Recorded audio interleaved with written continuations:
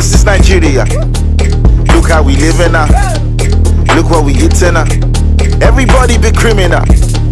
This is Nigeria. Just because I'm on TV now. Person we no get work is checking to see if my watch is original.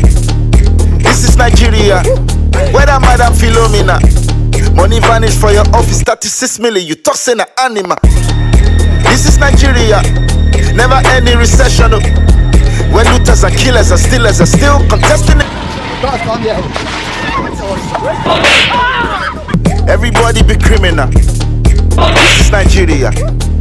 Look how we living now. Look what we eating now. Be criminal. This is Nigeria. Just because I'm on TV now. Person who no get work is checking to see if my watch is original. This is Nigeria. Whether Madam Philomena.